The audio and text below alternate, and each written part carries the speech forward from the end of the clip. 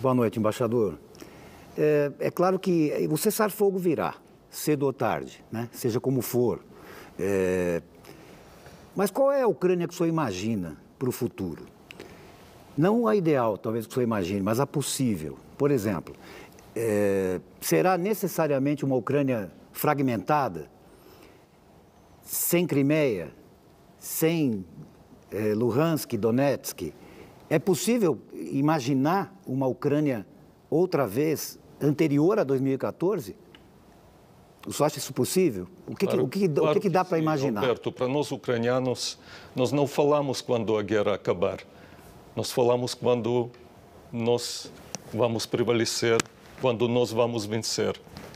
Porque se a Rússia parar de atirar, isso foi desde o começo, desde fevereiro, março de 2014, a guerra vai parar. Se a Ucrânia parar de existir, não haverá Ucrânia e ucranianos. Pela, pelas publicações nas agências oficiais da Rússia, pelo aquilo, aquela propaganda que vai pela TV russa, eles querem resolver a questão ucraniana. Sim, assim qual... como Hitler queria resolver a questão judaica. E qual seria o objetivo exatamente? Seria fazer que tipo de Ucrânia? Criar que, qual, qual é o objetivo? Simplesmente anexação. É, eu acho que o, o que eles querem ou o que a liderança russa tem medo é do sucesso da Ucrânia, do progresso da Ucrânia. Porque a Ucrânia, especialmente desde 2014, mudou bastante foram realizadas várias reformas muito importantes.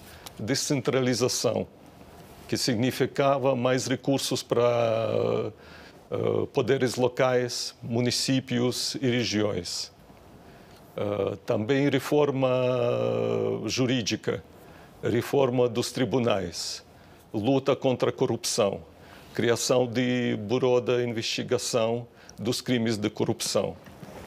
Eh, não lembro se eu já falei, penso que não, na última vez, em 2014, porque tudo isso resultado de assim chamada uh, Revolução de Dignidade, como os ucranianos chamam o protesto popular contra o antigo regime do presidente pró-russo, quando ele recusou-se a assinar o acordo de livre, zona do livre comércio com a União Europeia e eh, o acordo de associação política com a União Europeia.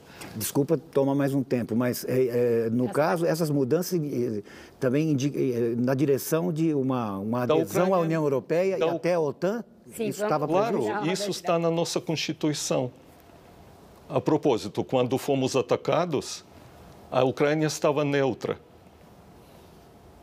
a Ucrânia praticamente desde 2010 parou cooperação e avanço para o bloco da OTAN.